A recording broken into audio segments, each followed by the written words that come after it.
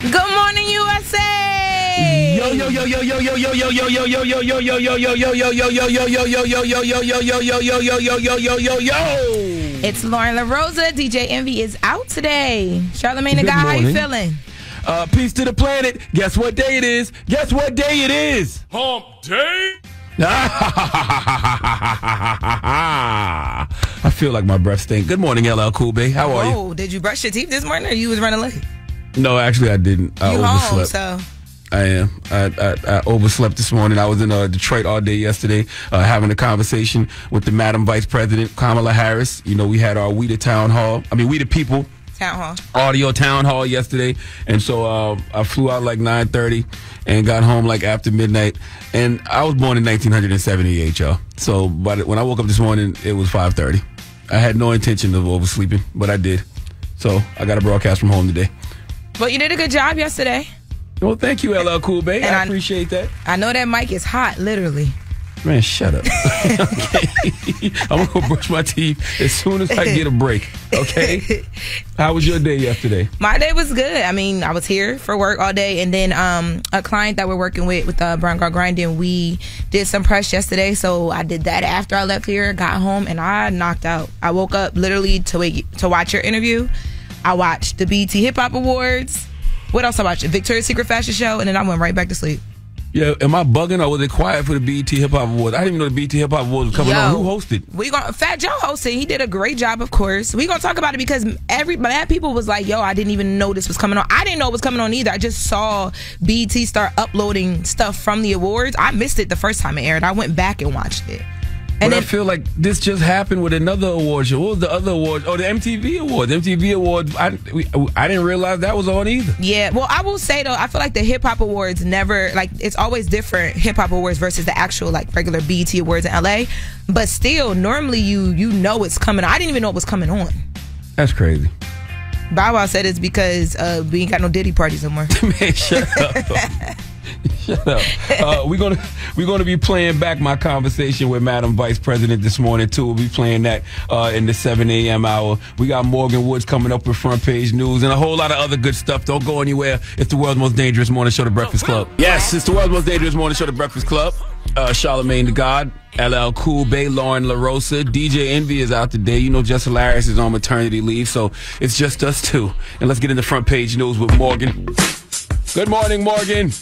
Good morning, good morning. Yeah, good morning to you, Doctor, Mister Charlamagne, the God. You know what I'm saying? You had a very Doctor good- of uh, what? I don't know. First I'm just all, first of all. Uh, I have an I have an honorary doctorate from South Carolina State University. Respect my honorary doctorate, man. Us real graduates don't respect honorary. But go ahead, go go, but go off. That's what Kamala told Go you off, yesterday. King. But go off. Let's let's the. Anyways, okay. So Vice President Kamala Harris, obviously, if you missed it, I don't know where you was at, but uh, Vice President Kamala Harris sat down for an exclusive iHeart Audio Town Hall in Detroit with our very own Charlamagne the God. Um, when asked questions about why she sounds so scripted and sticking to her talking points, well, here's what she had to say. at my rallies. i say the same thing when I go to Detroit as I do in Philly, as I do wherever I am, to make sure that people hear and, and receive what I think are some of the most um, critical issues that are at stake in this election. Yeah, so she uh, said that what's at stake in this election is truly profound. And of course, I love that you guys talked about the confusion around the stimulus checks, where Democrats in Congress actually had to pass that vote funding um, that. Uh, uh, passed that funding and Trump put his name on those checks. Another topic that I'm sure many of us can relate to is the legalization of marijuana. Uh, VP Harris says she does want to legalize marijuana on a national level, saying she and President Biden worked to get weed reclassified in the criminal justice system. And when she was uh, San Francisco district attorney, she was against harsh penalties for weed crimes. Let's hear those comments from VP Harris at the town hall in Detroit with CTG. To make it classified as a lesser um, harm. And so that took some time. There's a whole process around that, but that's the work that we have done. I was the most progressive prosecutor in California on marijuana cases and would not send people to jail for simple p- possession of weed. So she also indicated that she is confident she is going to win the election in November, but adds that the race is tight. Now, Vice President Kamala Harris, she is expected to sit down for an exclusive with Fox News later today, taking questions from anchor Bret Baier. Um, that's set to air at 6 p.m. Eastern from Pennsylvania, another key battleground state in this election, coming up with coming up in less than three weeks. Um, it'll be her first sit down with Fox ever. Uh, any thoughts on last night, Charlamagne? Um, I I just enjoyed the conversation. You know, it's one of those conversations. It's an hour long. You can go watch it on Breakfast Club's YouTube page. We'll be playing it playing it back uh, next hour as well here on the Breakfast Club. But it's just one of those things. Like, you know, if you want to actually get accurate information and uh, you know, don't be don't be um, fueled by misinformation and actually know the truth, you'll you'll get it from this conversation. Um, but that's only if you want want to believe it. Oh, you, know, like, you can still be presented with the truth and still choose to believe, believe, believe whatever lies are out there. But that's on you.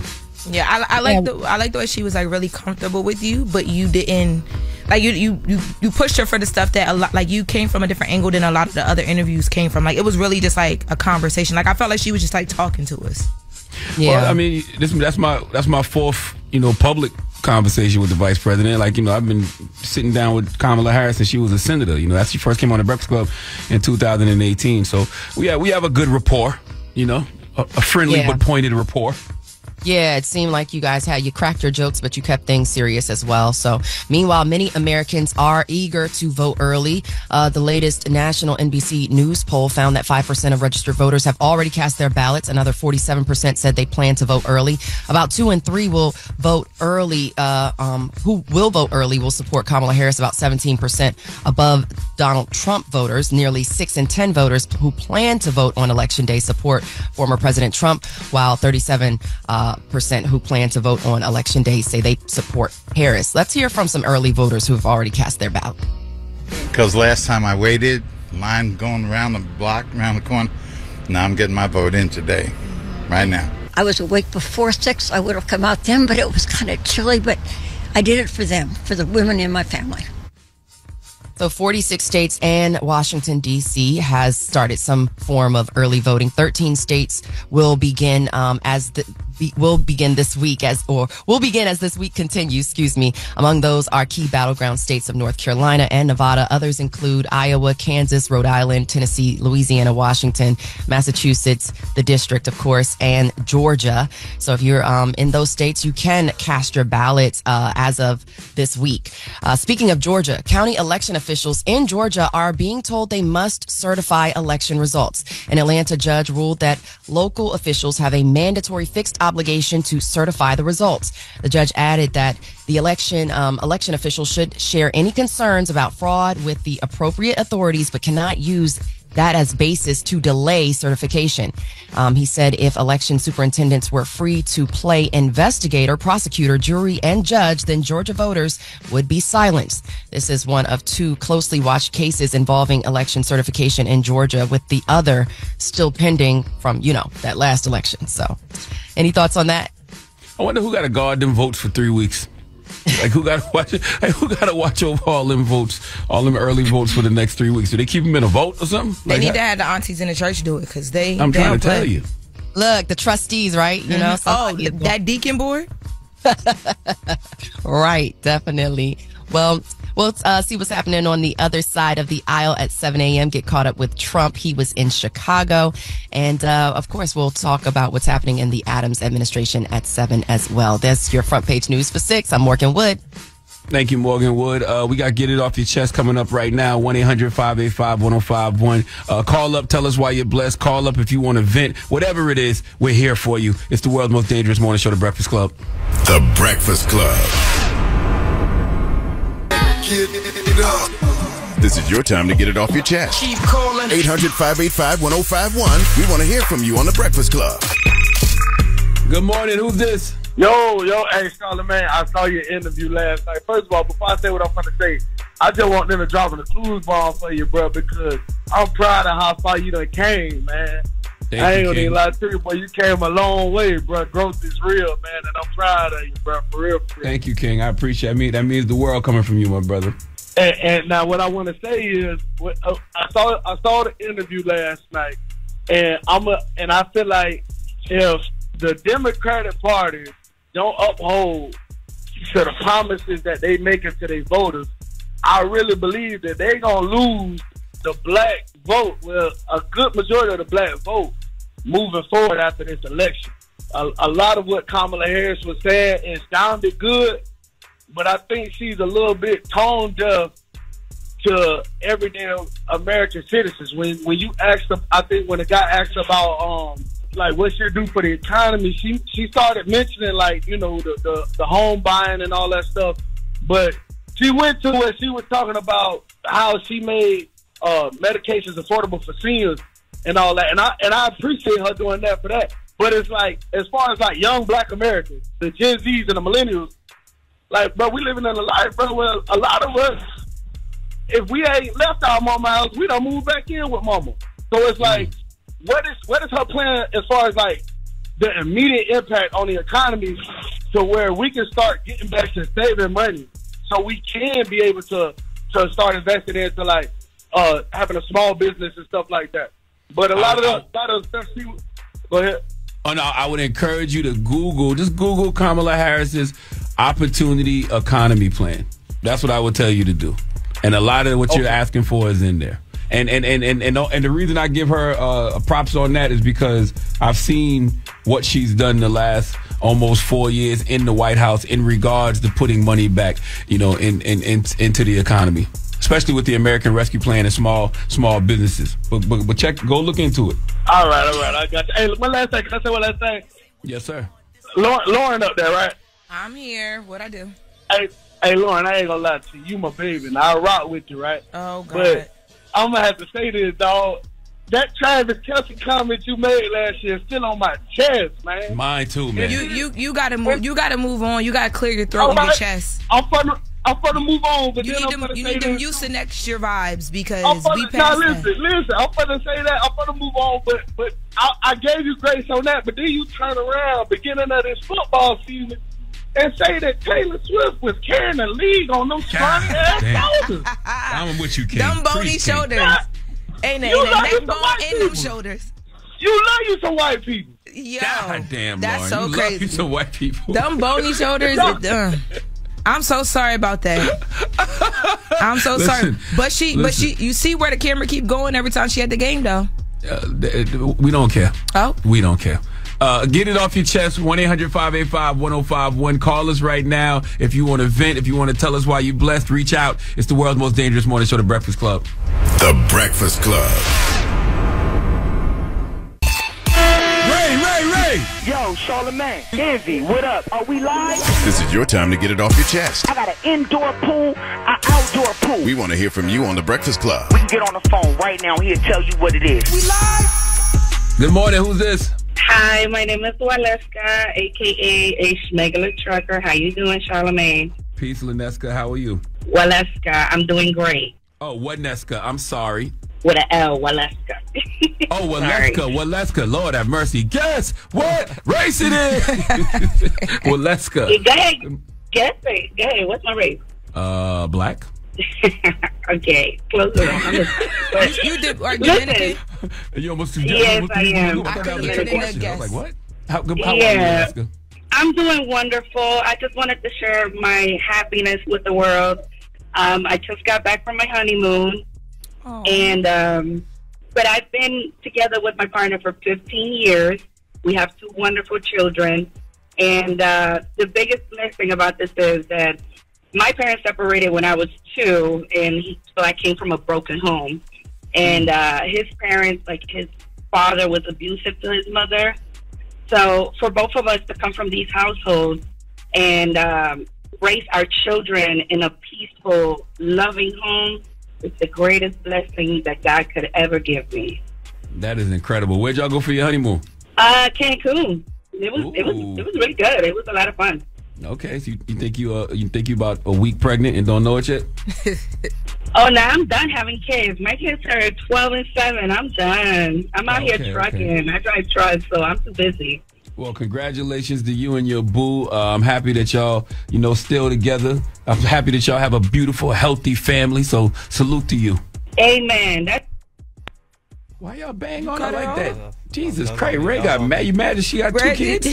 Ray got mad. You married and happy too. Why are you so angry? What I know, happened? Ray. You ain't got no reason to be that angry to hang up on that young was lady. He said Good she need to call who's her this? man. Good morning. Good morning. This is Jeff. What up, Jeff? How are you? Good, good. Good morning. Charlamagne the God, LL Cool Bay. Good morning. Shout out to Jeff. Shout out to Envy. Yes, sir. Yeah, I'm just trying to get it off my chest, man. I don't like all the hate that J. Cole has been getting off this new this new song, this new single, this new uh song he just dropped, man. It's like Talk he's doing what he's always done the whole time. He's giving his side of the story, he's giving you personal lyrics and putting it in a song. I don't think he was gonna be able to move on without addressing it in a song. Everybody hated when he apologized initially. Then they saw how the battle went and how personal it got. It was like, wow, J. Cole was really smart for getting out of it. And now we hearing this side of the story. It's like, oh, no, you shouldn't have said anything. It's like they mad that he said he would have won. They mad he said that he had the blood of his friends on him. It's like, what did y'all want this man to say? Y'all thought he was going to get on the track and be like, yeah, I would have lost. That's why I got out. It's like, nah, man, it's, it's still Cole at the end of the day. He's still can rap with anybody. He's in my top 10 and Kendrick's in my top five, and it's coming from a Kendrick fan, but Cole's still that dude, and he still keep keeps giving you bars in this song, and I just it's kind of like, like especially like the media, they they went in on him like, yo, what y'all want from the man? Well, that's what I think it is, uh, and I, I, I respect you being a Dreamville surrogate. But what I think that it is is the fact that he's like the guy who acted like he'd have beat your ass if he didn't have to go to work in the morning. You know what I'm saying? You ever seen that dude who act like he want he, um, he, he act like he gonna fight, I'ma beat your ass, but boy, you lucky I gotta go to work in the morning. Man, either you gonna swing or you not. So for him to like you know apologize, which was fine, I respect that move. I think that he did what was best for his his mental health. But don't write a song acting like you the spun the block, bro. Like I I didn't I appreciate that. I don't feel like he was saying he would have spun the block, but he was just like, look, man, from his perspective, this is what it was. And it's like, yo, you know, if, is we going to have to balance? Did Kendrick shift what hip hop is? Or we going to allow this? Because it's like, no, you should have been about that smoke. And it's like, that's not where he was coming from. That's not who he's been the whole time. And, you know, I, he has been talking greasy the last, like, two, three years, speeches and everything like that. And it was like, you know what I'm saying, kind of like, all right, man, it got to fall back. But now he's giving us his perspective. And it's like, you can't really, like, fault the man for telling you what it really was from his perspective. It's like, yo, I think it's a dope song. I think he's giving us bars. I kind of want to hear what Trav got to say about it, too. Yeah, you know what? I haven't heard Trav's opinion, but thank you for calling, brother. All right, that was Get It Off Your Chest. You can call us every morning around this time, 1 800 585 1051, and get it off your chest. Now we got Jess with the Mess coming up with Lauren LaRosa. What we got in Jess with the Mess, Lauren? We gonna recap the uh, BET Awards that most people didn't know were happening. Jesus Christ. The Hip hop awards. It's the world's most dangerous morning show, The Breakfast Club. The Breakfast Club. The world's most dangerous morning show, The Breakfast Club. Charlamagne the God, Lauren LaRosa, DJ Envy is off today. Uh, Jess Hilarious is on maternity leave, so it's just us. Now it's time for Jess with the Mess. News is real, whether it's Hilarious, Jessica Robin Moore, just don't do no lies, don't do no lies. She don't spare nobody. Worldwide Jess, worldwide Mess. On The Breakfast Club. She's a coach of shit. With Lauren, Lauren LaRosa. I'm back. Oh, oh, oh. And I got the mess. Talk, talk to me. I'm not gonna lie, I forgot what segment we was even doing just now. Good morning, Lauren. Good morning. what? Did you brush your teeth? Not yet. Oh my god! Oh, so the BET Hip Hop Awards went down last night. I, I, like a lot of people, did not know it was happening until I saw it hit the timeline. A lot of people were online, like, "Whoa, when did this? When did we not know that this was not happening? What happened?" But it was a good show. I did tune in um, once I realized it was happening. Um, Fat Joe hosted it. You know, he's amazing at just all of that, you know, carrying the party on. This is actually his third time hosting the show. The show took place in Las Vegas at Drai's nightclub. I also saw people making a joke about the fact that the BET Awards were at a nightclub, which if you've ever been to the hip hop awards, it is literally a party. So I thought it was fitting. Um, last night though, big wins for the night. Kendrick Lamar like cleaned up. He was nominated for 11 awards. He took home eight, including lyricist of the year, hip hop artist of the year, song of the year for Not Like Us, video director of the year with Dave Free for Not Like Us. Like all of the wins that Kendrick Lamar took home last night. I, D- Drake definitely shouldn't watch the show. Um, who, who else? Who else was going to win? Like who else dominated hip hop like Kendrick Lamar dominated hip hop, and he ain't even drop an album. True. I mean, he had a year. Um, Travis Scott also was there, which I was actually surprised to see Travis Scott there. I thought it was a great thing he was there, but I was surprised because normally with the hip hop awards, you don't see super, super big names unless they're performing and they dip in. But he was there because he was receiving an award. He, ain't uh, just the hip hop awards. Most most major black superstars don't come to black award shows. Yeah. Now, why? I- Why I don't know, but they they don't. Well, I do know because they think white ice is colder. But, especially yeah. like Travis Scott, the, the huge names, right? So he won the I Am Hip Hop Award um, that was presented to him by Teyana Taylor along with Tyler. Let's take a listen to his speech.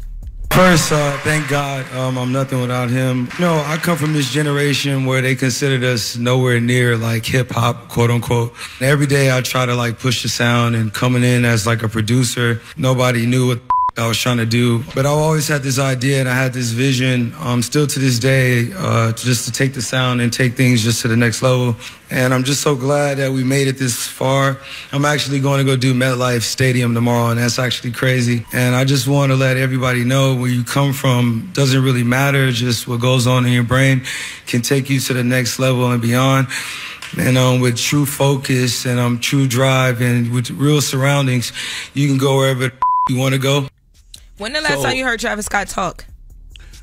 uh last year at no yeah last year at the iHeartRadio Music Festival when I spoke to him I, I couldn't even remember the last. No, I mean like that though, like a public speech. I've never. I don't even remember a time ever hearing that. So I was. Man, you know what's so funny? When they called me to interview Travis Scott a couple of years ago, I thought the same thing. I was like, he talks? like I I've never heard him talk.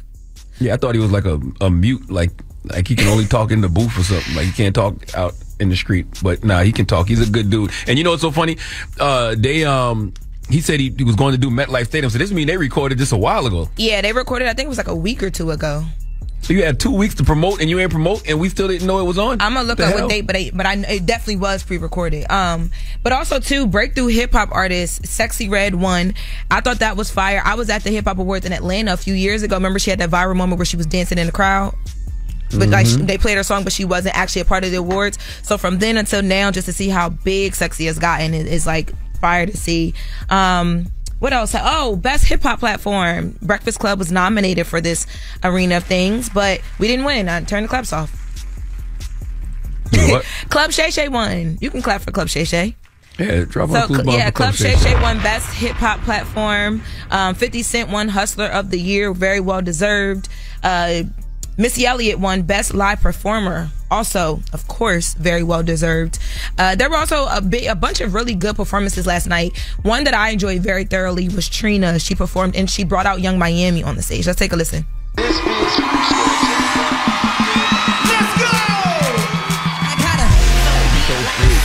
hope you got a four.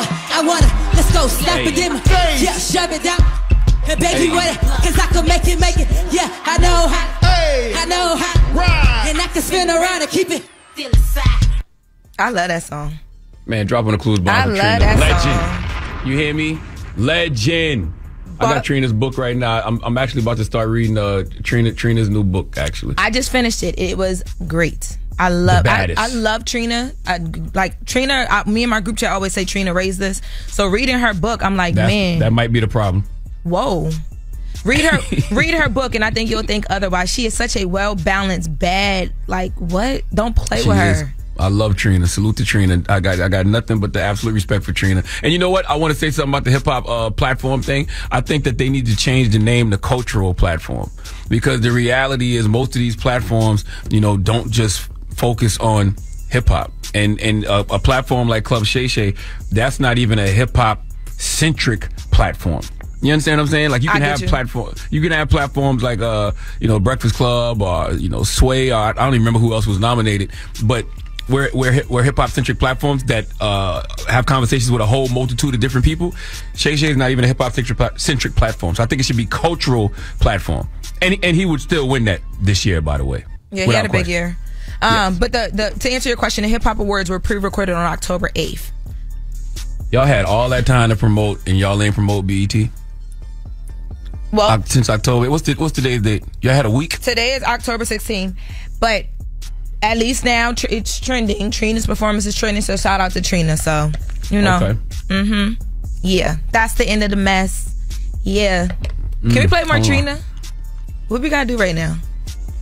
We actually have to get ready for front page news. I'm swallowing some oatmeal right now. That's why I ain't gonna brush my teeth Pause. yet. Cause I had to do some breakfast.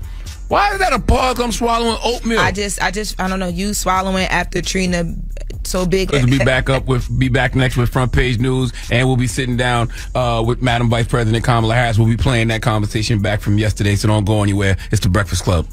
Yep, it's the world's most dangerous morning show, The Breakfast Club. Charlamagne the God, Lauren LaRosa, uh, DJ Envy is out today. Jess Hilarious is still on maternity leave, but it's time for front page news with Morgan Wood. Good morning, Morgan. Good morning, good morning. So, yeah, former President Trump, he took part in an economic forum in Chicago before heading to Georgia to tape a Fox News town hall with an audience of women that will air at 11 a.m. today. Now, while in Chicago, he sat down for an interview with Bloomberg News and the Economic Club of Chicago and said if elected, he will bring companies back to the U.S. and implement what he calls strong tariffs. Let's hear more from former President Trump. We're going to bring the companies back. We're going to lower taxes still further for companies that are going to make their product in the USA. We're going to protect those companies with strong tariffs because I'm a believer in tariffs. But tariffs are two, uh, two things uh, if you look at it. Number one is for protection of the companies that we have here and the new companies that will move in because we're going to have thousands of companies coming into this country. We're going to grow it like it's never grown before. I'm not the highest grade of weed in the dispensary, so when I keep hearing somebody talk about something, I have to look it up. So I'm always hearing about these tariffs, tariffs. Do we understand that a tariff is basically a sales tax raising the price of almost everything that we buy? And we pay those tariffs? Like tariffs aren't paid by other countries, they're paid by us, the consumer. Do we know this? Well, they taught that in social studies. I remember. No, okay, I didn't know.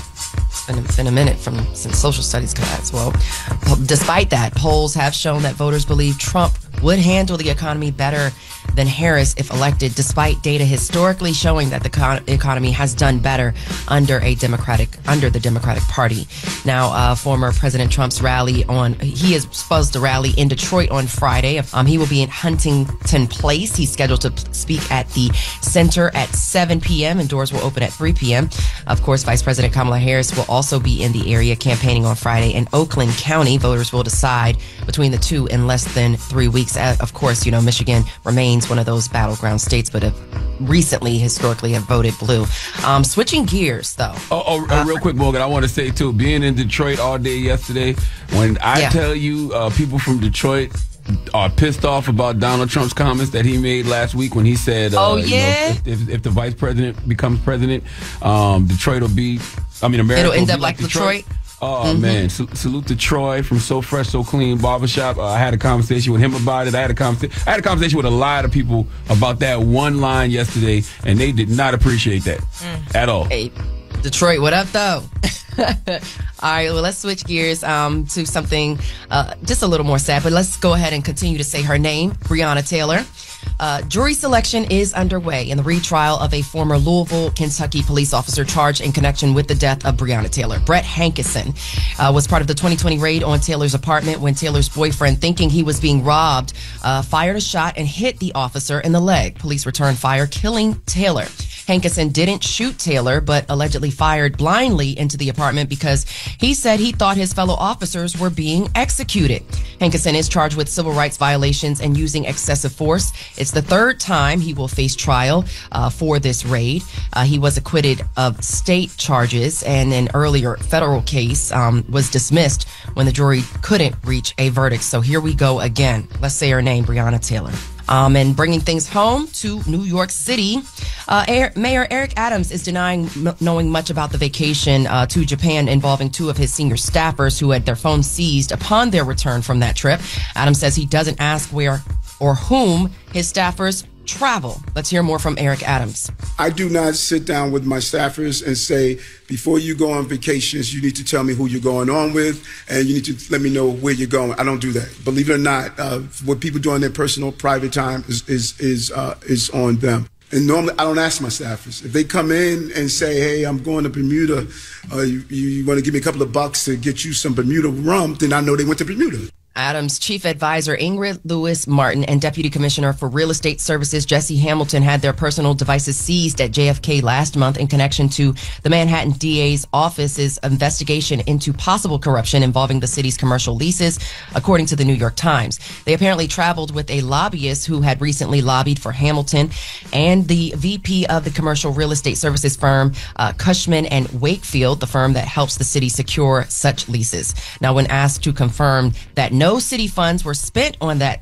trip to Japan. Adams said it was not sponsored by the city. So Adams con- he continues to hold it down and say, "Hey, you know what I'm saying? This this this wasn't me. This was them. Y'all talk to them."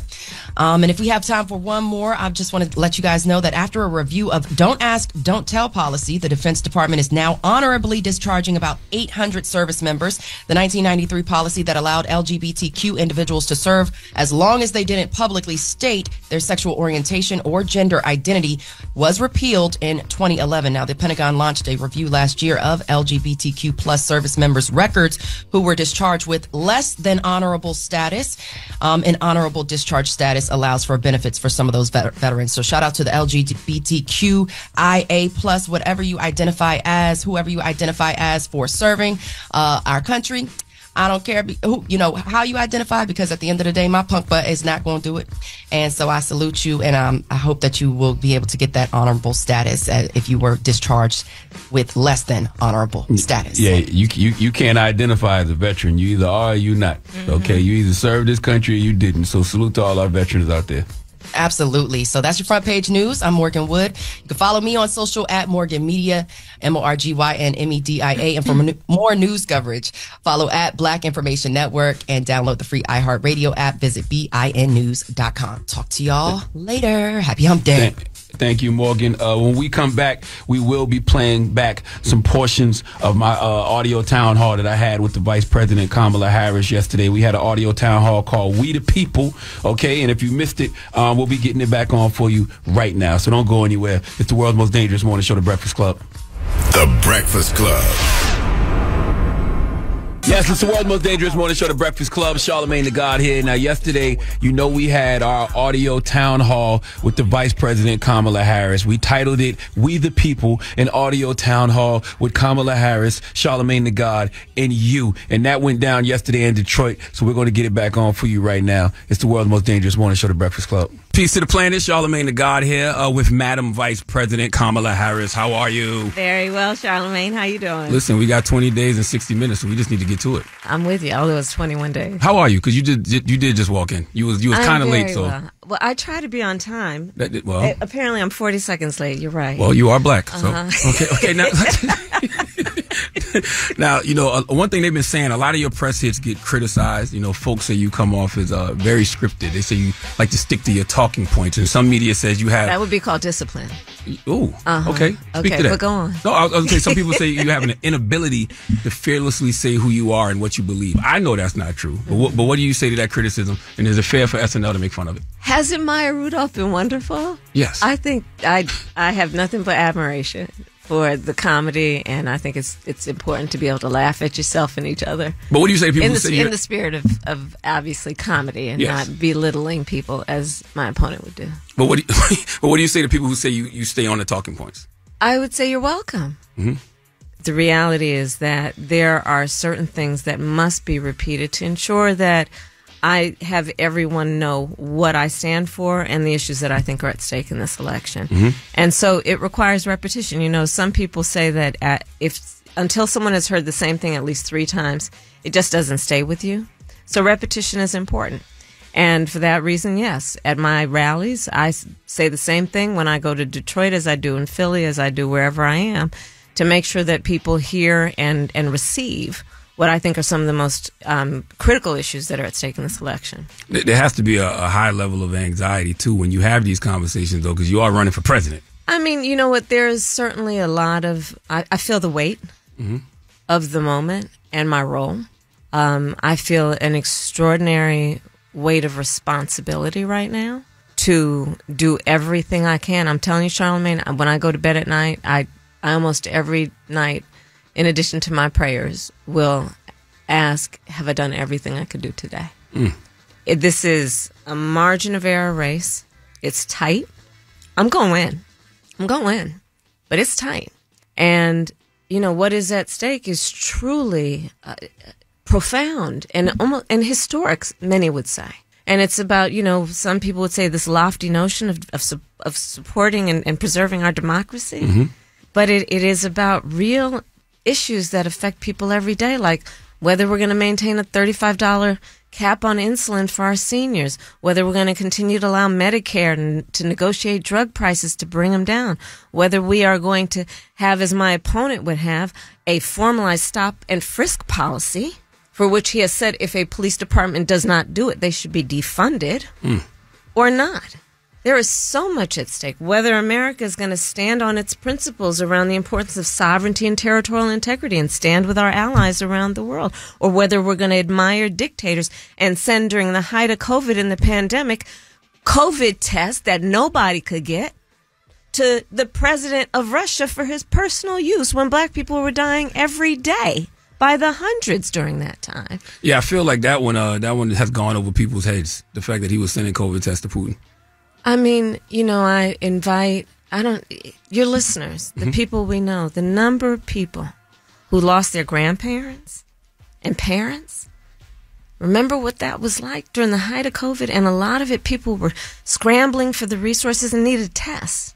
And Donald Trump, during that time, secretly sent COVID tests to the president of Russia, who, by the way, do not forget, in the 2016 election, because I was a member of the Senate Intelligence Committee when we when we investigated it, targeted black voters in 2016 with mis and disinformation to discourage black people from voting in that election. And and this is just another of the very many examples of who Donald Trump really is Yes, and and the danger he presents Yeah, to real people. Sending COVID tests to Russia. That doesn't sound very uh, America first at all. But but it's not just you versus Trump. It's you versus misinformation. Yes, that's true. Right, and, and one of the biggest uh, pieces of misinformation, one of the biggest allegations against you is that you targeted and locked up thousands of, of black men in San Francisco for weed. Some say you did it to boost your career. Some say you did it out of pure hate for black men. Please tell us the facts. What's the facts of that situation? It's just simply not true. And what public defenders who are around those days will tell you, I was the most progressive prosecutor in California on marijuana cases and would not send people to jail for simple po- possession of weed. And as vice president, have been a champion for bringing marijuana down on the schedule. So instead of it being ranked up there with heroin, we bring it down. And my pledge is as president, I will work on decriminalizing it because I know exactly how those laws have been used to disproportionately impact certain populations and specifically black men. hmm Okay, let's take some. When I call, let's go to the talkback feature. Uh, My question for Kamala is why are we, and I say we because my tax dollars is sending the money, why are we sending money to other countries when we desperately need it in our own country for homeless, housing, resources, for whatever? That is my determining factor if I vote for Kamala or not. That's that's one of the reasons the America First rhetoric resonates because nobody in America would complain about where money was going if American citizens' everyday needs were being met. So, what what do you say to that? We can do it all, and we do. Mm. So, first of all, I maintain very strongly America should never pull ourselves away from our responsibility as a world leader. And that is in the best interest of our national security and each one of us as Americans and our standing in the world. That being said, we also have an obligation to American citizens, obviously, and people who are here to meet their everyday needs and challenges. Which is why, for example, we have done the work in the last four years of bringing down the cost of prescription medication, whether it be $35 a month for seniors for, for insulin or $2,000 a year cap on prescription medication. What we have done that has been about putting $17 billion in our HBCUs. I am proud to be the first HBCU vice president of the United States. I intend to be the first HBCU president Okay. of the United States. Those resources are about sending them to centers of academic excellence that I know them to be. The work that I continue to do is about increasing access to capital for our small businesses. It is about increasing the opportunity for home ownership, knowing that black people are 40% less likely to be homeowners in America. We have a history of legal and, and, and procedural obstacles to that home ownership, starting with the fact nobody got 40 acres and a mule to redlining to, to issues that this Detroit area and people around the country know to be real. So part of my plan is that we're going to give people a $25,000 down payment assistance to get their foot in the door to buy a home for first time home buyers. The work that I'm going to do to increase housing supply in America, knowing that that's one of the reasons that rents and housing prices are jacked up, and to work with the private sector, cut through the red tape, and work to build more housing, 3 million before the end of my first term. And I give these examples, and there are many more which I will offer. So, for example, the work that I will do to extend the child tax credit to $6,000 for young families during the first year of their child's life. Because as you and I both know, our families all have a natural desire to parent their children well, but not always the resources. Mm-hmm. So by expanding the child tax credit to the first year of a child's life to $6,000, that gives that young family the ability to buy a car seat or a crib or clothes, the things that are so important during that critical phase of that child's development so that they can get on the road and actually have a chance at succeeding. All right, when we come back, we will be playing more from my audio town hall with the Vice President Kamala Harris that we did live from Detroit yesterday, okay? It's the Breakfast Club. Yes, it's the world's most dangerous morning show, the Breakfast Club. Charlamagne the God here. Now, yesterday, you know, we had our audio town hall with the Vice President Kamala Harris. We titled it We the People, an audio town hall with Kamala Harris, Charlamagne the God, and you. And that went down yesterday in Detroit, so we're going to get it back on for you right now. It's the world's most dangerous morning show, the Breakfast Club. Have you seen the clip, uh, Madam Vice President, um, from the grill. It's a, it's, it's a clip that's kind of out of context, and it says uh, that you won't do anything specifically for black people. Have you seen that? Have you? I've not seen that. Well, it's, it's a clip that has you saying that you, you're not going to do anything specifically for black people. Well, that's just not true. And it, uh, listen again, you said it at the beginning of this um, visit, Charlamagne. One of the biggest challenges that I face is mis and disinformation, Mm-hmm. and it's purposeful because it is meant to um, convince people that they somehow should not believe that the work that I have done has has occurred and has meaning. My work from the beginning of my career through today has been about, for example, we've talked about it, whether it be on HBCUs, whether it be on healthcare, black maternal mortality. I am singularly, many would say, one of the highest level leaders in our country to bring the issue of black maternal mortality to the stage of the White House to address it. The work that I've done that has been about focusing on my knowledge and my experience and my life experience of knowing the entrepreneurship that we have in the community, the ambition, the aspirations, the dreams, and then tapping into that so that not only has my work been about ensuring that we have some of the lowest black unemployment ever in our country, but that also knowing that that should be a baseline that everybody has a job. And what we should be invested in is also building wealth in the community and intergenerational wealth. And I have many, many examples of that.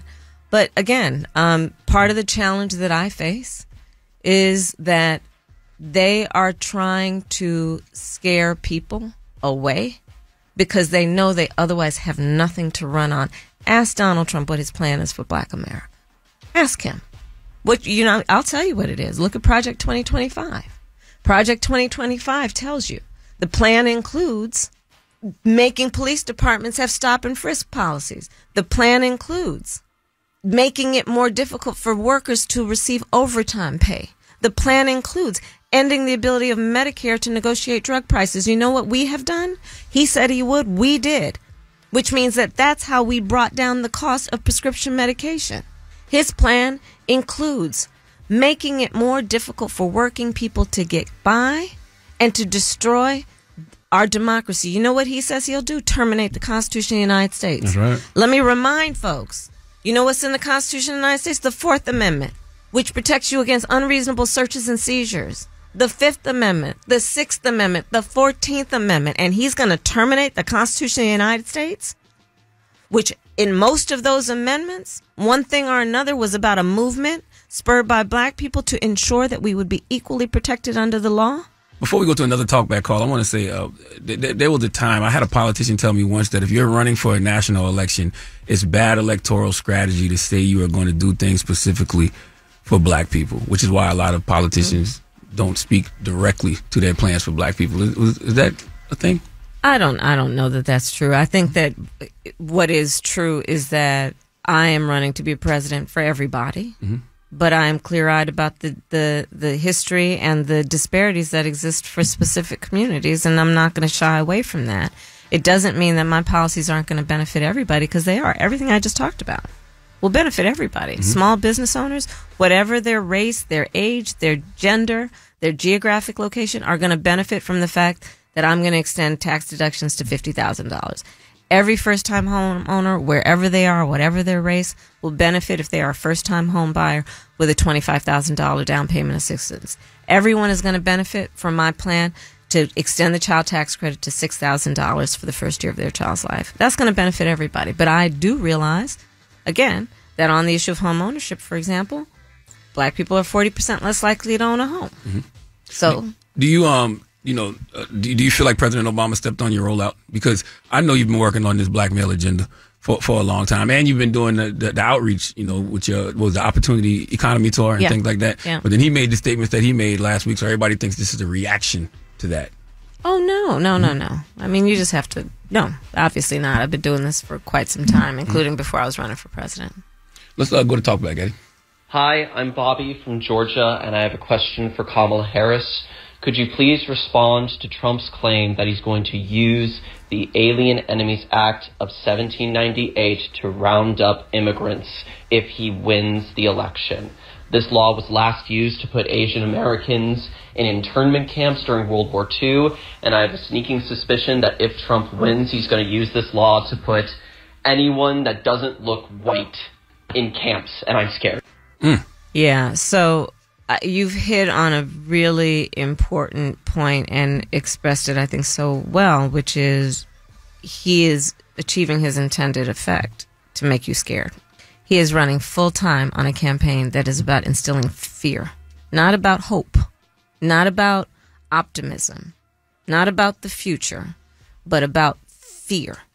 And so this is yet another example. Look what he did in saying that those legal immigrants in Springfield, Ohio, were eating their pets. He and and by the way, the hypocrisy of it abounds because on the issue of immigration, let's be clear. Some of the most conservative members of the United States Congress working with others came up with a border security bill which was the strongest, toughest border security bill in a long, long time. It would have put 1,500 more border agents at the border. It would have reduced the flow of fentanyl into our country, which is killing people all over our country of every race and background. It would have allowed us to do more work on prosecuting transnational criminal organizations, which I have done in my career.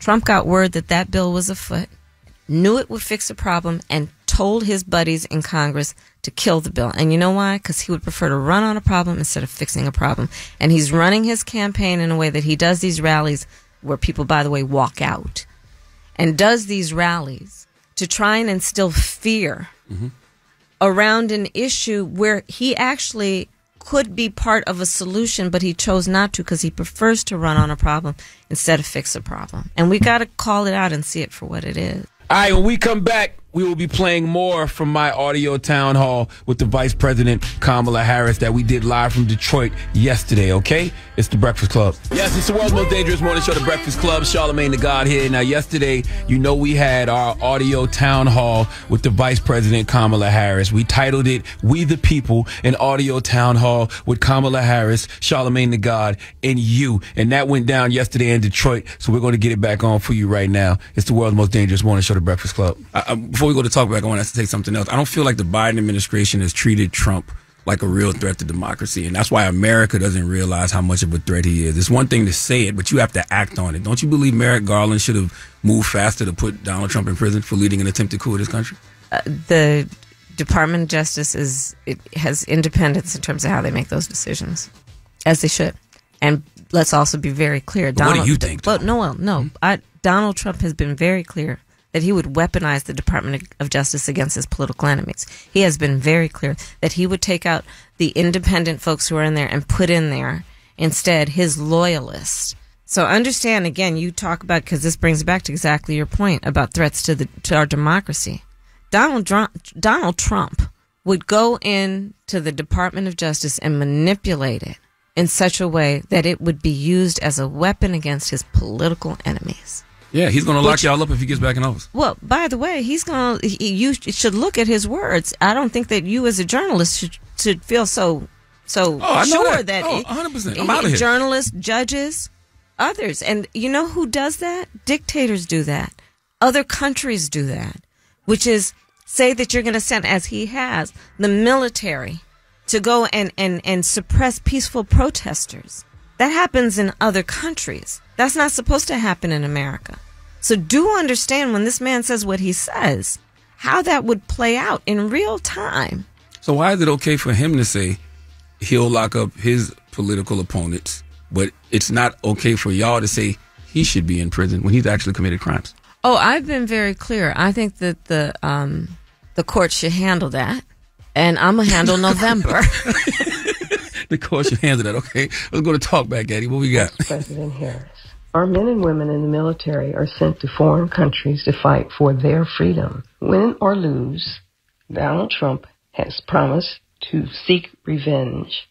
My question is, will our military be there to fight for our freedom after the election should Trump start another insurrection? Mm. Mm.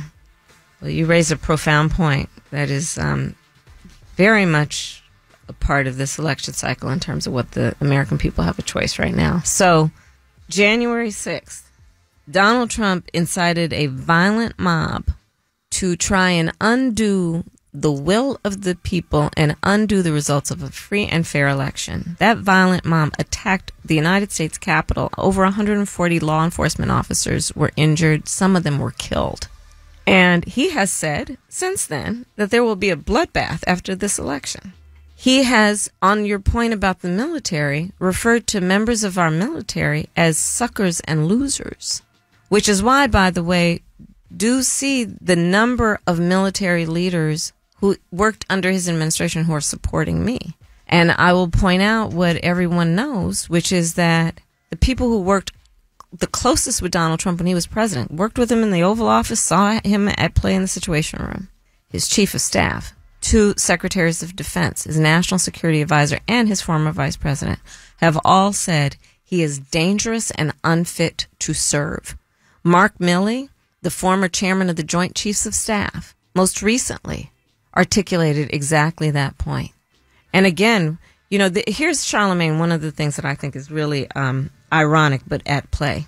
Donald Trump, through his um, his way of trying to name call and demean and divide, tries to project as though those things are a sign of strength, when in fact the man is really quite weak.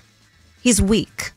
It's a sign of weakness that you want to please dictators and seek their flattery and favor. It's a sign of weakness that you would demean America's military and America's service members. It's a sign of weakness that you don't have the courage to stand up for the Constitution of the United States and the principles upon which it stands.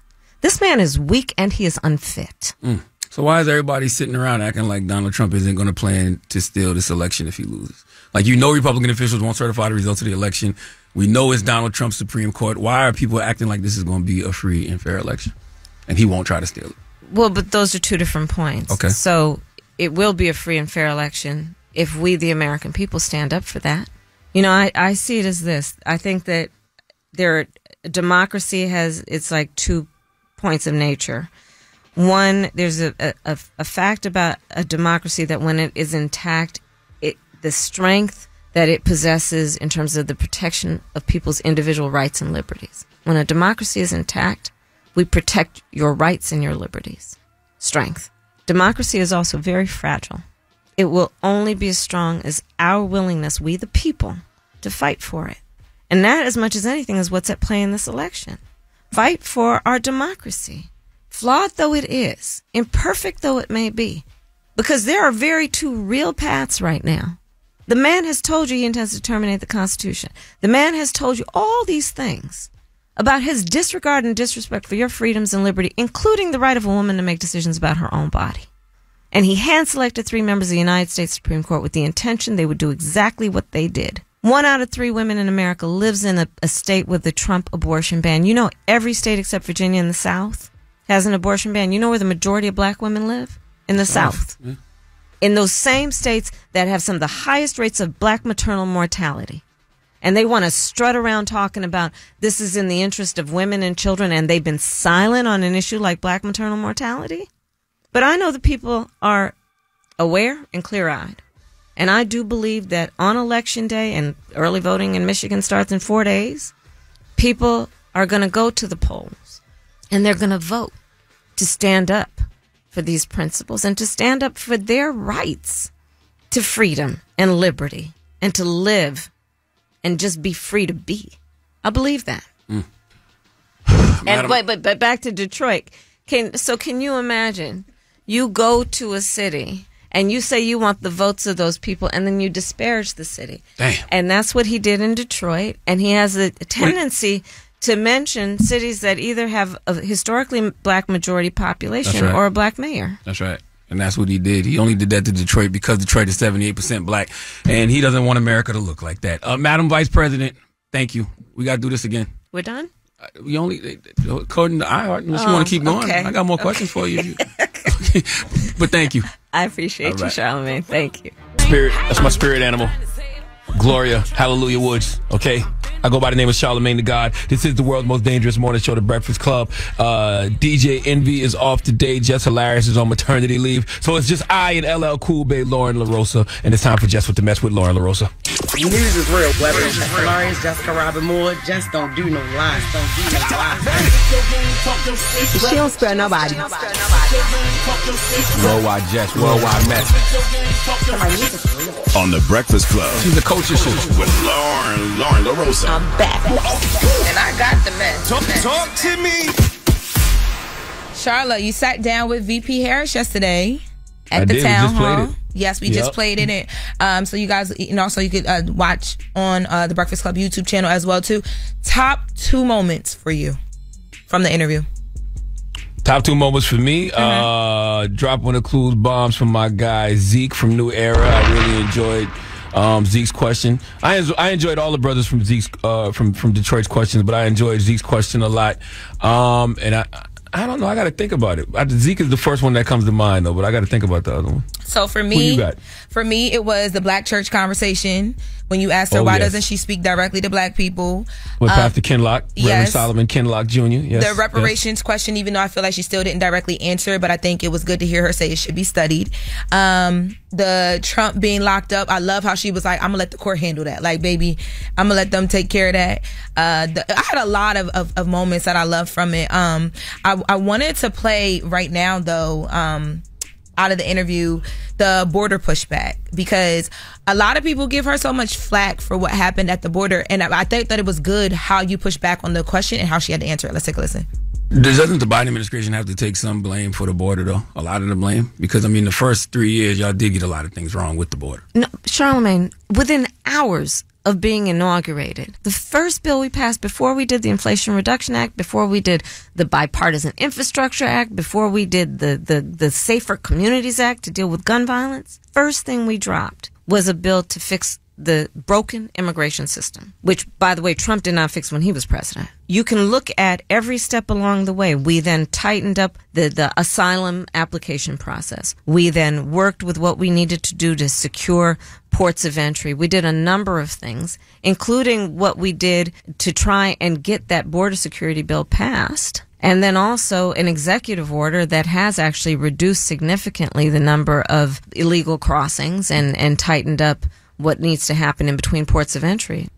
Now, I like the, hearing her in this interview talk about the border because even the way she said your name and opening of that response, it was like, y'all better stop playing with me. I'm tired of having to tell y'all this. I, I think that that energy and that aggression is needed from her right now. And, and Well, you know, th- Go there's ahead. another part of the conversation where I even said to her, "Why do you not push back on them labeling you the border czar? Because everybody thinks that's her job. That's actually not her job. Like Biden deputized her with a diplomatic mission to evaluate the factors that cause people to leave their home countries in the first place. The Secretary of Homeland Security, uh, whose name I can't pronounce, Ale, Ale, Alessandro Mayorkas, uh, He's the person that manages the border. So how she's become the fall person for the border, I I don't know. I know you so well that uh, we have that clip. Let's take a listen. Congress has to act to fix the immigration system, and it has been broken for a long time. Congress has to act, but it does not help when finally a bar- bipartisan group got together to fix it, and Donald Trump told them, "Hold on, don't do that because it won't it won't help me politically." Mm-hmm. Why do you allow them to call you the border czar when that were, that's not even your that wasn't You know your I'm not giving him permission for that. Oh, oh, you're right, but but I mean you don't push back on it because that wasn't your that's not that wasn't your role. What what? Fact checkers have made that clear. Look, Okay. if I responded to every name he called me, I wouldn't be focused on the things that actually help the American people, and that's my focus. And um, one of the things I will say too is in the beginning of the interview, like just as a person that interviews, I was watching just your strategy on it. I love how you set the tone from the beginning where she couldn't be scripted if she wanted to in this interview because you called her out on it early. So it made her have to like really talk. And even her explanation of so many different things i think she talked directly to people regular. And people were able to get it. One of the things you guys also went into was the disinformation um, that is just out there on the internet. One of the biggest things that we saw recently with that was the janet jackson um, conversation where people were saying oh janet jackson and her brother allegedly don't support kamala because kamala prosecuted uh, michael jackson. And you know that whole narrative around her with black men and prosecution. Let's take a listen to that Quick question: There's a rumor that Janet Jackson is mad at you because you prosecuted her brother, the late great Michael Jackson. That's on that's on the internet. Clear that up for people. That's just not true. I know. Yeah, What- on either count. oh, she, you know, oh, she's not mad at you. well, either? I mean, I don't know. I Gotcha. don't know. I have not talked to her, but it certainly it's not true about her brother. and we all you had, go ahead You had to see the look in her eyes. She had no idea what I was talking about. Really? Well, I I love that for her because it be it be stuff be so loud on the internet. And I love that she had no idea, but I will say, um, this stemmed from, so y'all know, um, well, y'all, I'm talking to the listeners, whoever. And back in 2003, when, uh, Michael Jackson, uh, was, uh, charged with child molestation and, the administra- administering an intoxicating agent, people were saying that because she was the district attorney in San Francisco and he was prosecuted or whatever in Santa Barbara, they were trying to connect it to, but she had no direct involvement in that whatsoever. But I thought that that was a good thing that you brought that up to her because that was big because of the names involved. But you also brought up uh, Obama because that's been a big thing as well too. And I think the way you asked the question to her about him stepping on her rollout, I was like, oh, I want to hear how she answers this. Let's take a listen. Do you feel like President Obama stepped on your rollout? Because I know you've been working on this black male agenda for a long time, and you've been doing the, the, the outreach, you know, with your was the Opportunity Economy Tour and Yeah. things like that. Yeah. But then he made the statements that he made last week, so everybody thinks this is a reaction to that. Oh no, no, no, mm-hmm. no. I mean, you just have to. No, obviously not. I've been doing this for quite some time, mm-hmm. including before I was running for president. Love to hear love to hear that she's not bothered but i also think it's important for her to be able to talk about stuff like that because uh, for a while a lot of us felt like she couldn't talk about stuff when think people that are you know before her. So like the obamas or the bidens when things happen people feel like she has to stay silent. So i love the fact that she was just willing to answer and say no i didn't care about that. I'm i'm cool. We good over here. Yeah, I just know how people would uh how, would pe- how people would see that, that that black male agenda, especially after the comments that Obama made. But if you've been paying attention, she's been doing black male outreach for a long, long, long, long, long time. And I know for a fact that they was working on this agenda way before uh, Obama made those those comments. And So- shout out to Icewear Vezo. I thought he came up and asked a really good question too. Um, we we don't have the time to play it, but he had basically asked her like, why now? Like this all seems fake. Like you just want our vote, and she clarified what you just said that they've been working on this stuff. This is not anything new. Um, and I know we've had him up there. He up here. He's talked about you know why he's weary of, of politicians and certain things. So I thought that, that was great to include him too. Vezo told me something after uh, the town hall yesterday. If, if if that's something he wants to share publicly, he can. But yeah, Vezo, uh, I'll, I'll just say Vezo thoroughly enjoyed uh, the, the conversation, and you know, Vezo, Vezo was very opinionated about the vice president beforehand. For so sure. I want. I, I really just want to drop on the clues bombs for Detroit, man. Detroit is such a special, you know, beautiful black city, man. Salute to um, Reverend Solomon Kinloch Jr. Salute to Zeke from New Era. Salute to Icewear Vezo. Salute to Eric Thomas. Salute to Sharon, who's the PD at uh, WJLB in Detroit. Salute to Bushman and salute to Chanel Dominique. Drop on the clues bombs for Chanel. And- and I, I hit Chanel and asked her to bring a room together of some of Detroit's finest, and, and, and she did that, man. So salute to Chanel and uh, Sharon for really, really putting on for Detroit yesterday at the Audio Town Hall. Yeah, so congratulations on that. My mom said that this was one of Kamala's best interviews. So, and I think a lot of people feel that way. So, shout out to you know you for handling that well. Well, That's thank the mess. you, LL Cool Bay. You're welcome. I don't trust you when you're nice. I really don't. Ooh, I almost started to say something. But uh, for, Oh. for, for- for after the hour, we need the Indiana State Police to come to the front of the congregation. We'd like to have a word with them, please. It's the Breakfast Club. Don't be out here acting like a donkey. Hee haw, bitch.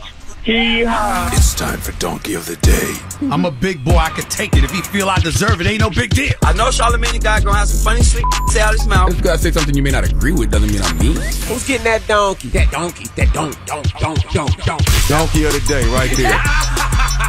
It's the Breakfast Club, bitches. You can call me the donkey of the day, but like, I mean no harm. Yes, donkey of the day for Wednesday, October 16th goes to the Indiana State Police in Indiana. Uh, you all must really like doing paperwork, okay? In fact, before we move on, I want to salute uh, all the cops out there who have bigger fish to fry, all the law enforcement officials on this planet who don't stick to the rivers and lakes they are used to because they too busy chasing waterfalls. We don't discuss that enough.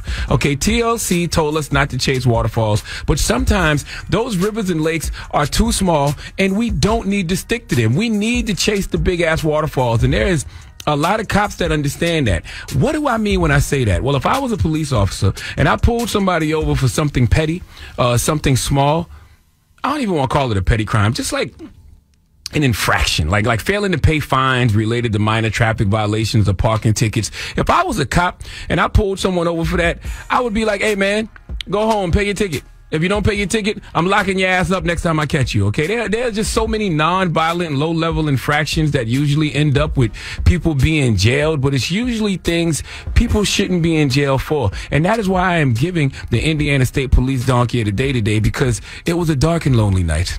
A state trooper was patrolling the southwestern part of the state when he spotted a 51 year old man named John McKee driving a little Jeep with no lights.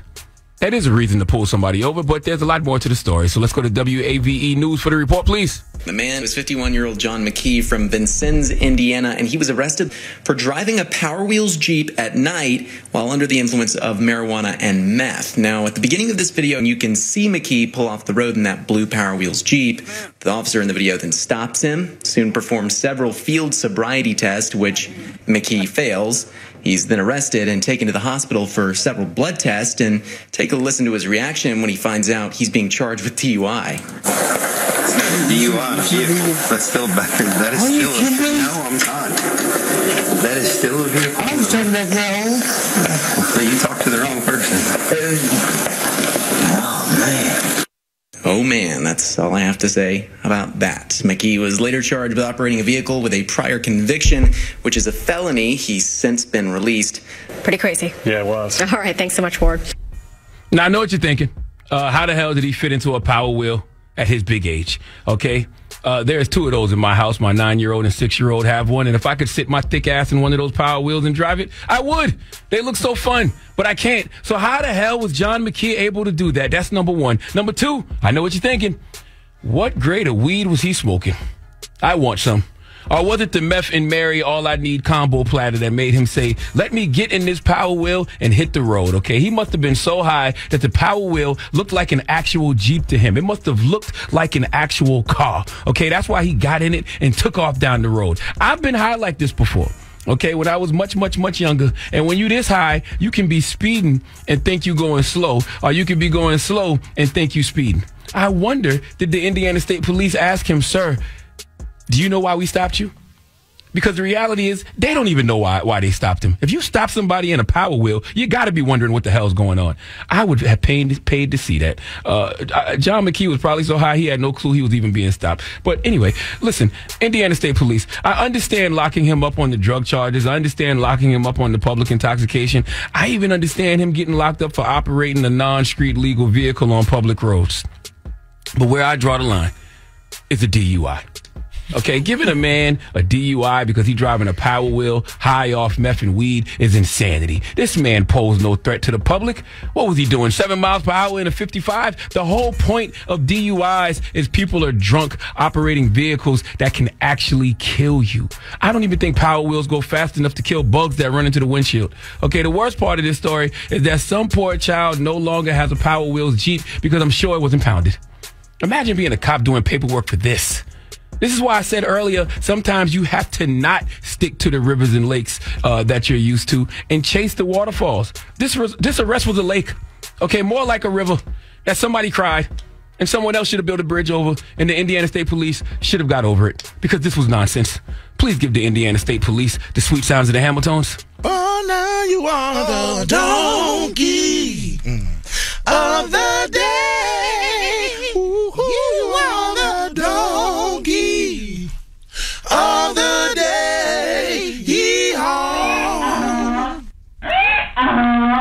When you sober up, how do you explain that? You don't. You try to get high again. you get high again to forget the Of all the things you ride in, like what? a goddamn power wheel. It really don't make no sense.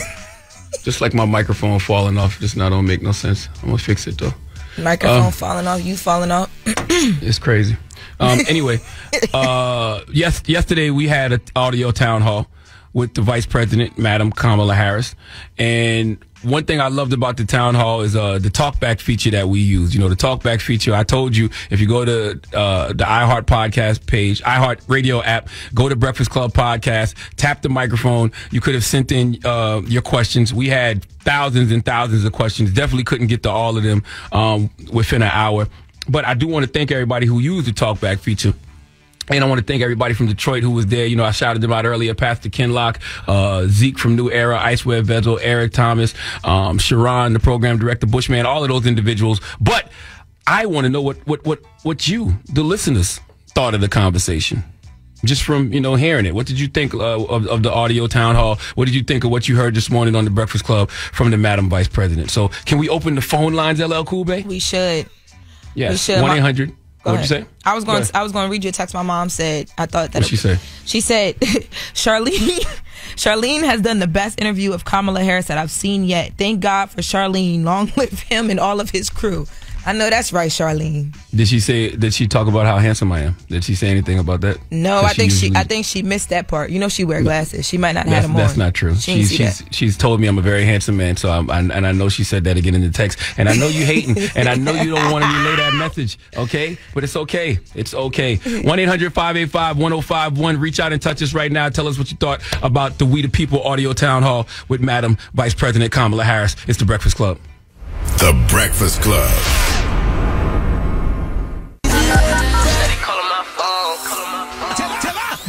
It's topic time. Call 800 585 1051 to join into the discussion with the Breakfast Club. Yep, it's the world's most dangerous morning show, The Breakfast Club. Charlamagne the God, Lauren LaRosa, DJ Envy uh, is off today, and you know Jess Hilarious is still on maternity leave. But we're talking about the audio town hall, We the People that uh, I did yesterday with the Madam Vice President Kamala Harris. Salute to everybody who used the talkback feature to submit your questions. Um, but we want to hear from y'all, the listeners, right now. You know, just want to know what you thought uh, about the information that was presented during the audio town hall yesterday. Who's on the line, Red? Hey, good morning. What's going on, uh, LL Cool Bay and uh, Charlamagne? Good morning. What's happening? What's your name? Hey, uh, my name's Chan Man. It's actually Chandler. But hey, Char- real quick, I just want to say, Charlamagne, I thought you did a fantastic job on that interview. I, uh, great talking points. You touched on the points that I feel like a lot of us are thinking about. Felt like you kept the composure, but you still were touching on uh, serious topics. I, I thought you did a great job. I started listening to it last night when I got off work and listened to it again this morning. So yeah. I just thought you did a fantastic job. What'd you think? What'd you think of uh, the substance of the conversation, though? Did it move the you in was any way? fantastic. I thought Kamala did a great job answering the question. One of my favorite parts was uh, you know, when you said she was scripted, and she said, "No, I'm disciplined," and that you know because that's something we think about. Also, you brought up the topic of the San Francisco prosecutor situation, and uh, also the Obama step-on question. That that was a fantastic thing too. You know, I just thought it was a great interview, and I really think this helped the campaign a whole lot. Oh, thank you, brother. I appreciate it, man. Thank you for listening. Absolutely. Could I throw in a quick plug? Of course. New children's book by Chandler D. Hayes, Langston Mason's Cooler Made Adventure. Uh, it's on Amazon, Barnes and Noble. Just about a little boy that starts a Cooler Made or a drink stand. Oh, absolutely. Thank you, brother. Appreciate you. Good morning. Who's this? Trey from Norfolk. Trey, what's up, Trey? What's happening? Good. What's good, Charlotte? What's good, Laura? Good morning. Good. You know me for the Breakfast Club. Good morning. Thank you. Um, what you thought of the uh, audio town hall with Vice President think- Kamala Harris last night? I think it was awesome. Um, you know, she did a she did you did a really good job answering some very pointed questions and not letting her off the hook with some of the things that she's been sticking to her script on. Um, I do think though she could benefit from stepping back from a lot of the, the political stuff. Like you said, the scripted stuff we've heard it a lot, and as an independent, that's not what's ringing home to us. Like even after the audio town hall, that's not she answered a lot of questions that, that we had, but I think just having a regular conversation like, look, this is what the heck is going on with our country. Get away from the political talks because we hear that every four to eight years. What had Obama, what had us so hyped about voting from him is when we hear from him, it wasn't always just the political points, but it was actual conversations and it was just actual talking that that was had to the community outside of just the black community. And then when she does that, that's when she'll see that that that that hype and that momentum that she had post and pre um, Democratic convention like come back again, and especially she'll start seeing that reflected in the polls. But that's just my That's two cents. I think you did a wonderful job. That's a great point. I, I, I wonder about that, right? Because I, I be thinking to myself sometime, did Obama put too much sauce on it? Because you know his whole campaign was about hope and change. And I don't know if you saw him last week in Pennsylvania.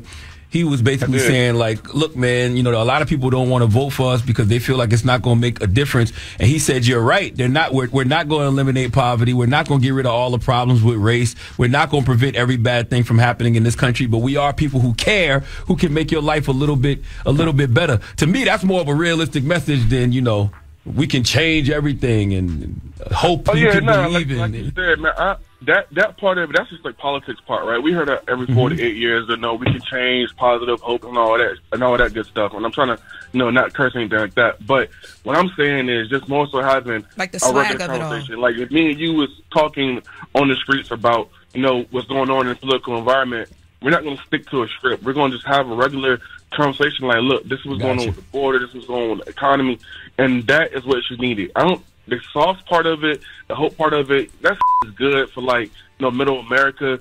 But for us, us independents, us that's in the middle, and people that's really, really focusing outside of the, the political talking points, just have a conversation. See if those people get away from the, the, the talking points and just really have that conversation. I think when she goes and maybe if she comes back on the Breakfast Club or when she goes to Joe Rogan, if she does that, that's what's going to help her versus just the like the, the, the same old I I'm got you. middle class, I'm, you know, then get away from I that got and you. just get back to having real conversations. I agree. I got you. Thank you, I my think that's brother. why it resonated so much with a lot of people. Like the minutes that she, the time she did do that, it was like, oh, like this is refreshing. Like she's a person. She knows what's going on. 1 800 585 1051. We're taking your calls on the audio town hall, We the People, with Madam Vice President Kamala Harris that we did yesterday on iHeartRadio. It's the Breakfast Club. If y'all talking about it, you know we talking about it. It's topic time. Call 800 585 1051 to join into the discussion with the Breakfast Club. Yep, it's the world's most dangerous morning show, The Breakfast Club. Charlamagne the God, Lauren LaRosa, aka LL Cool Bay. DJ Envy is off today. Jess Hilarious is on maternity leave, but we are here talking about uh, the We the People audio town hall that I did yesterday with Madam Vice President Kamala Harris on iHeartRadio. Uh, we're taking your phone calls on the situation on the call on the audio town hall. Who we got on the phone, Red? Good morning. Uh, Lamasia. Oh, it's Lamasia. What's up, Lanasia? How are you? I'm good. How are you? I'm blessed, black, and highly favored. So, so I enjoyed the interview. I just feel like she should have went more in depth with things, like um, telling us how she thinks the court is going to handle him um, if they prosecute him. Let us know, like exactly what she mean by like things. Like just get more in depth with things. It seems like she's like afraid of talking to us. Like it seems like she's afraid of opening up to us. I think she's a. Like I just feel like I need that- more. Yeah, it's, it's certain situations that they don't really go deep on. There was a part of the conversation where I even asked her, "Why are y- why can't y'all say Trump needs to be in jail, but Trump has no problem saying he gonna lock all y'all up?" yeah. Right. Yeah, that yeah, I just that's feel like little she should have said more. Like, what's she gonna do more about like getting the illegal immigrants that's hurting us out. Like, what are you gonna do about what's in here now? What are you gonna do Hmm. if you get elected and Donald Trump starts this riot again? Like, what are you gonna do to help us? Like, you're telling us it's not gonna happen, but how? Mm.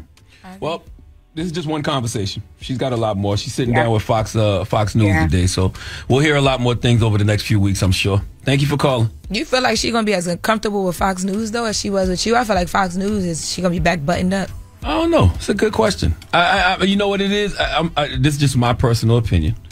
I think that she operates very well when she's angry. If that makes sense, you know what I'm saying. Like when she, when when when you when you say something that moves her, and and like she's already got that fire in her. She's like the Incredible Hulk. She can unleash it at any time. Yeah. And I think uh I think a platform like Fox News might bring that out of her. When Big Kamala come out, because it was That's a couple times I was like, oh, she gonna reach across that table. You better relax. I was saying. When she telling Trump, "I'll eat your lunch."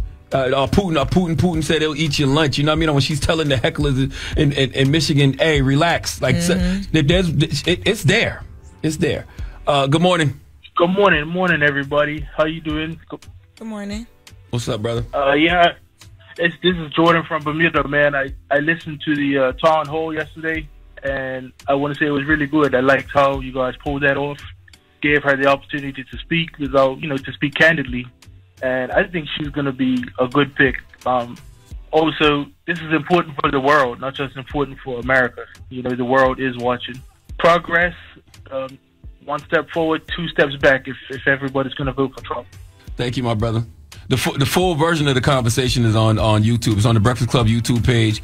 And uh, if you want to listen to it in the audio form, it's on the Black Effect iHeartRadio Podcast Network. I want to tell you.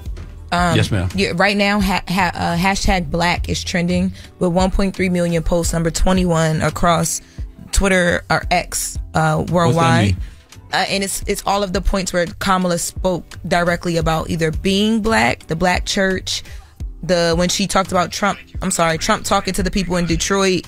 Anything that was when she got into like actual like her blackness, being black, speaking directly to black men, all that stuff is trending within that because people wanted to hear it. They want to be spoken directly to. Wow. Wow. Well, I want to salute once again everybody in Detroit, that black ass city. I mean, very special place, man. Salute to Pastor Kinloch. Uh, salute to Zeke from New Era. Salute to Icewear Vezo. Salute to Eric Thomas. Uh, salute to Sharon, the program director at WJLB. Salute to Bushman. Salute to Chanel, Dominique. Thank you, thank you, thank you, Chanel. Thank you to all of those folks in Detroit uh, who made that event extra special yesterday, man. And go check out the We the People audio town hall. The visuals are up on Breakfast Club YouTube page, like I just said, and the podcast is up on um, the Black Effect iHeartRadio podcast network. Okay, okay, and it's in full. So the question that got cut off is on there as well. Uh, we got Jess with the Mess coming up. LL Cool Bay. Uh, we do. We're gonna um get into where we going next. It's, ooh, we're gonna get into uh, Life Jennings. Life Jennings called out Tiny Desk yesterday, and I had to reach out to my Tiny Desk uh, reps and, and see what was going on over there for Life. All right, that's what we're gonna talk about when we come back. It's the Breakfast Club. The Breakfast Club. It's the world's most dangerous morning show, The Breakfast Club. Charlamagne the God, Lauren LaRosa, DJ Envy is off today. Jess Hilarious is on maternity leave, but it's time for Just with the Best with Lauren LaRosa. News is real, whether it's Hilarious, Jessica Robin Moore, just don't do no lies, don't do no lies. She don't spare nobody. Worldwide Jess, worldwide mess. On The Breakfast Club. She's a coach of shit. With Lauren, Lauren LaRosa. I'm back, and I got the mess. Talk, talk to me. So really quick before we get into the rumors, um, I'm sorry, before we get into Jess with the Mess, I want to uh, just send some love to Ananda Lewis, who was a former VJ at MTV. She had announced uh, a few years ago that she was dealing with cancer, and recently she sat down with CNN in a discussion about cancer and her cancer journey, and she revealed that her cancer has now progressed from stage three to stage four because Oh, she decided not to undergo a double mas- mastec- mastectomy. Um, and basically, like she, she's always talked about like being, you know, afraid of like the radiation and just some of the different things that go with the treatment. So I just wanted to send her some love. I've been through a cancer battle with my mom, and it was I was so scared. I it took me about maybe three weeks, two weeks to convince her to go through with treatments because she was very scared of what it would do. So you know, I, it it it happens, but my mom was stage four and my mom is alive and well today so i'm sending her a prayer and, and you know just if she hears this or whoever it is is not over the fight is not won i mean the fight can be won because god has the last say so and i know that That's right. firsthand so I, I Definitely sending healing energy to Ananda Lewis. yeah, I wanted to take the time to do that. Now, yesterday, Life Jennings uh, posted something that picked up pretty viral. He had posted that he reached out to Tiny Desk last month, and they told him that he was not a big enough celebrity for their show. You know, Tiny Desk is a show where you do live performances. Absolutely. He says, so thank you to Unplugged for still believing in me. So I guess he has an Unplugged, which is kind of the same thing, but Tiny Desk has become a lot more popular. Uh, he must have that coming down the line. People were going crazy. I know Shade Room posted like a don't forget Life Jennings had the hits tribute to him. Uh, people were arguing whether he should have been given the Tiny Desk because the music is good, whether he shouldn't have been given it. I reached out to Tiny Desk because I wanted to know, like, I, you know, if, if Life Jennings is, is there to perform, I think the music would be good too if he's up to it. And so why not? So I, I reached out to Tiny Desk and a rep told me that the NPR music team curates the Tiny Desk concert lineup using their editorial discretion to ensure that the music is this uh, includes discovery and inclusion. They showcase emerging talent as often as well as new as well. Emerging new talent as well as known artists. The team gets pitched hundreds of hundreds of artists, both big and small. Being a big celebrity is no guarantee to get in a tiny desk, but it doesn't disqualify you either. Often it's about the timing of an artist's career and their schedules. They said that their team is small but limited capacity to film. They do about 10 shows per month, and unfortunately, they couldn't accommodate. They can't accommodate every every artist that wants to perform. So it seems like he did reach out. I did double back and say, was he specifically told he was not big enough at the moment?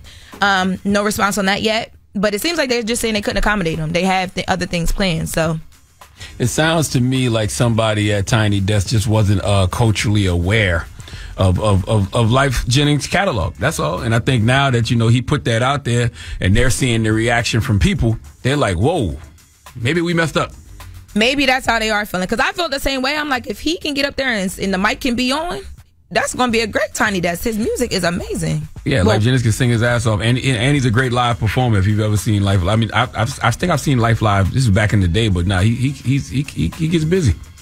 Well, we'll see what happens with that. I'll, I'll be following that to see because remember la- the last person who uh, posted something virally about Tiny Desk was Juvie, and it happened. So But it was the opposite, right? Juvie didn't know who the hell Tiny Desk was. exactly, it was the opposite. Now this next little bit of this segment, I'm gonna call "Sis with the Sports." Look at the Bob, Charlotte. Sis with the Sports. You know the sports right. broadcasters always have the good bobs. hmm That Bob don't look secure. Whoa, relax. It is very secure. If you didn't Shout have those Jamie headphones Ray. on, it would fall off. Shout out to Jamie Ray, very secure. So Davante Adams in sports news. Uh, this trade has been all over headlines. It's being called one of the splashiest trades in team history. So the wide receiver was traded to the Jets on Tuesday.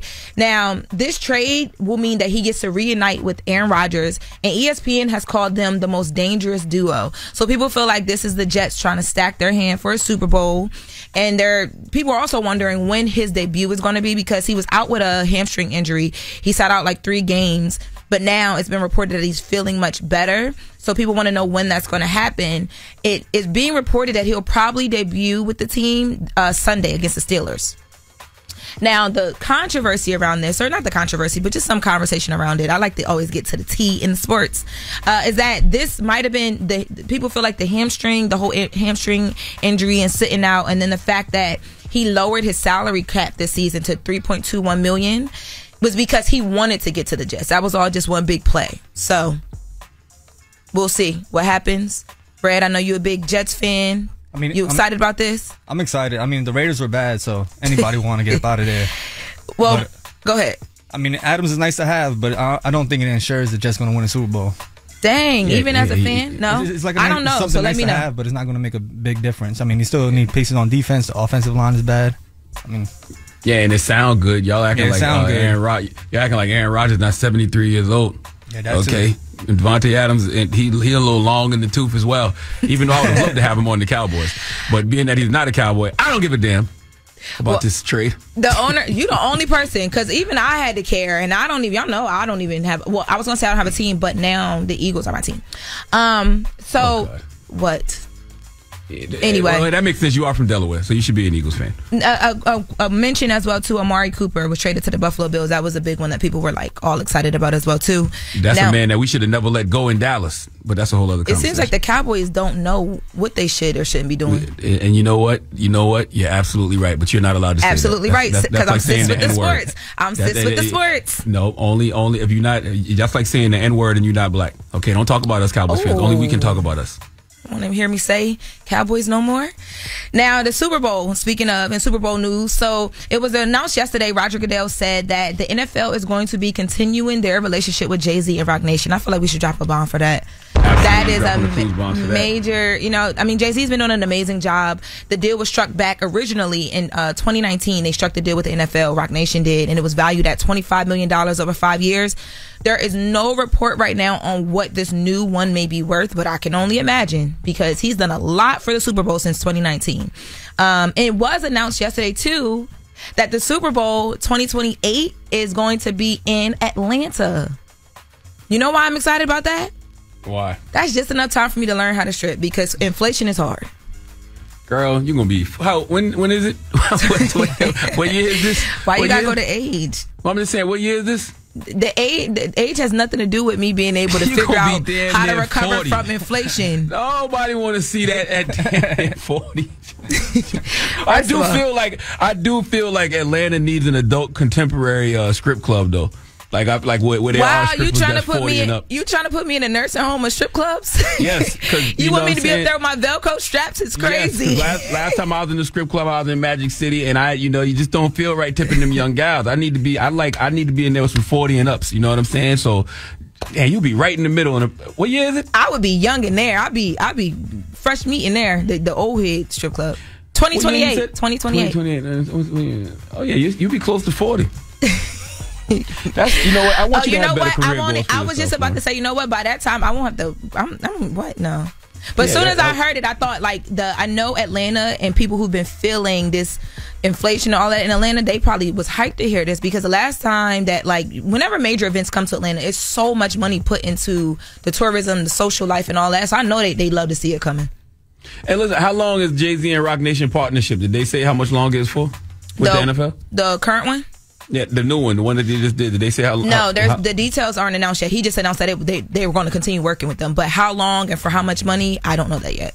Roc Nation should have been petty and put out a press release that said Jay Z and Roc Nation will be back to give you all something to enjoy and complain about. Okay, because you Negroes be so confused. Y'all, we, y'all, y'all complain eh. about the Super Bowl halftime performances, but then love them when they come on. I mean, isn't that what that like? That's just how life goes. No, that's just how Twitter goes. I was, yeah, you're right. You're right. It makes it good. That was just with the mess with Lauren LaRosa. Thank you, Lauren. I didn't get to get to the real Olympic sport, the the Victoria's Secret fashion show, but I'm a, I'm a, I'm gonna leave y'all with that. I'm gonna leave y'all with that was the real Oh, Olympic that- sport. Google it. Well, that's the uh, the new sport is the plus size models trying to fit their, their big asses in them little ass Victoria's Secret panties. We gotta go. the- Sis with the sports, we gotta go. Wrap it up. You're not about to do the- that to my inclusive mommies. We got the People's Choice mix up next. It's the Breakfast Club.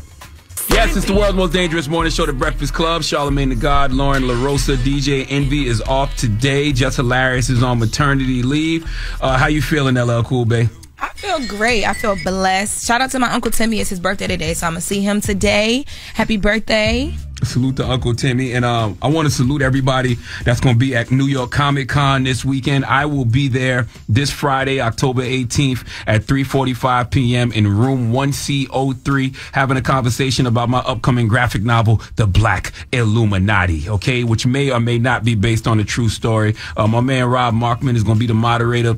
My man Axel Alonso is going to be on the panel. He's the former editor-in-chief of Marvel Comics, now the editor-in-chief of AWA Comics. My man Dennis Cohen will be there, and we'll be there talking all things Black Illuminati. So I'll see you 3.45 p.m. on Friday, October 18th in room 1C03 at the Jacob Javits Center for New York Comic Con this Friday. Okay, and I want to thank everybody who tuned in to We the People, the audio town hall we did yesterday with Madam Vice President Kamala Harris. Um, everybody that participated in our talkback feature. You know, y'all can we use that feature all the time too. We're going to Oh, start I using thought it was more. new.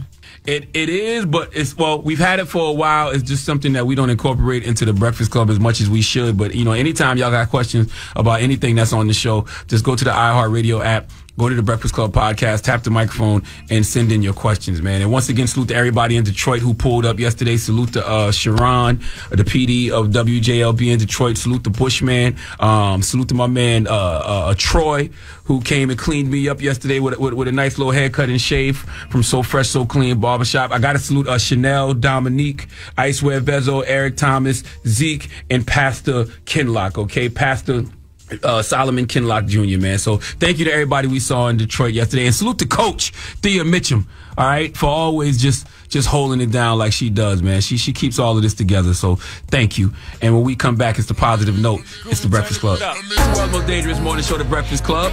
Charlamagne the God, Lauren LaRosa, DJ Envy is off today. Jess Hilarious is on maternity leave, but Envy should be back tomorrow. Uh, Jess should be back soon as well. Lauren, you're gonna be on the road this weekend, right? Yeah, me and Envy are going to North Carolina A&T for the homecoming. And I want to say, so it's Saturday, October 19th. Uh, it's at the Truist Stadium. We're doing the Let's Turn Up the Vote event.